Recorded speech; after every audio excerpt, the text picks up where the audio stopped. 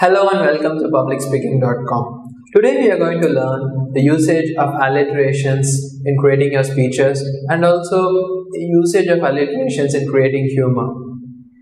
First of all, what is alliteration? Alliterations are similar sounding syllables used in a particular phrase or sentence. Usage of alliterations adds beauty to your phrase or sentence. Now let's take a look at this video.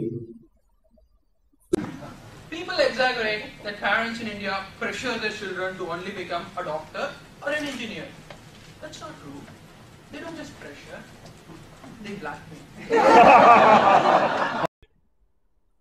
In this example, you see the sentence, people exaggerate that parents in India pressure their children to only become a doctor or an engineer. If you see the three main components of the sentence, people, parents, and pressure all have similar sounding syllables. And it took a lot of time for me to come out with these exact words so that it pops out of the sentence. And the particular reason of this happening is because it is having a similar sounds and this is the concept of alliteration if you use alliterations in your speeches you will add a lot of beauty to your speeches if you observe that example that was that was a humor. There was there's a good humor.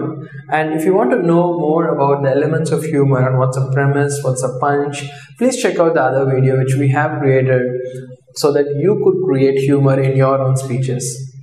Thanks for listening. I hope you like this video. If you like it hit like button and also subscribe to our free report on how to kill the fear of public speaking. Keep smiling keep rocking and happy public speaking